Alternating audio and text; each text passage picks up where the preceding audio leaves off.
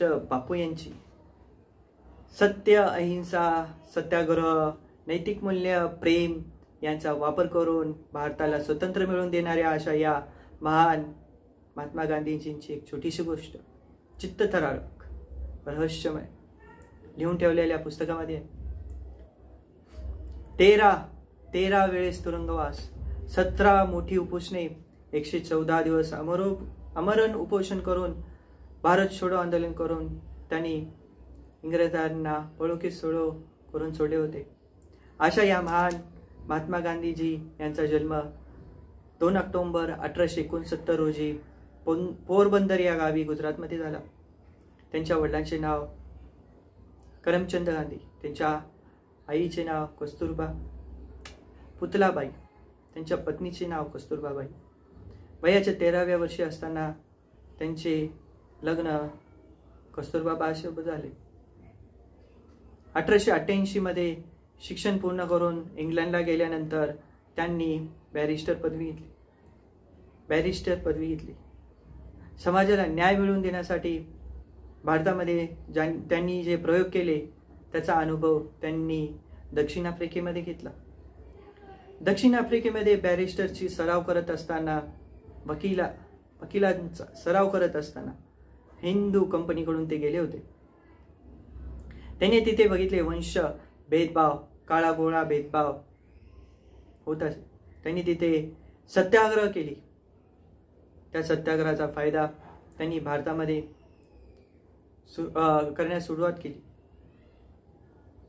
अशा या महात्मा गांधीजी जेव्हा दक्षिण आफ्रिकेमधून भारतामध्ये एकोणीसशे पंधरामध्ये आले तेव्हा त्यांनी गोपाळकृष्ण गोखले यांचा अनुभव घेऊन त्यांचा सल्ला घेऊन भारत भ्रमण केला भारत भ्रमण केला.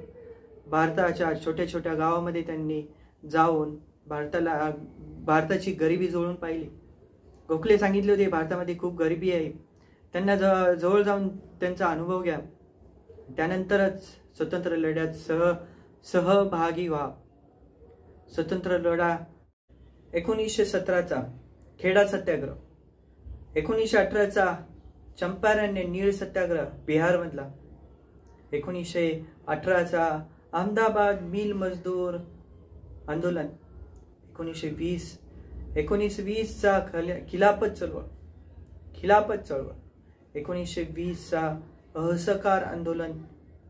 बावीसचा असहकार सविनय कायदेभंग आंदोलन. एकोणीसशे तीसचा दांडी मिठाचा सत्याग्रह. एकोणीसशे बेचाळीसचा भारत छोडो सत्याग्रह. अशा ह्या सत्याग्रह आणि चळवळी करून इंग्रजांना पळो के सळो करून सोडणारे आपले महात्मा गांधी. एका हातात दांडी आणि फक्त अंगावर धोतर असणाऱ्या या महान महात्मा गांधीजींचा मृत्यू हत्या अठ्याहत्तरव्या वर्षी नवी दिल्ली येथे. नथुराम गोडसे या पागल व्यक्तींनी तीन गोळे गोळ्या तीन गोळ्या झाडून केली. अशा या महान राष्ट्रपितास महात्मा गांधीजींना माझा सलाम.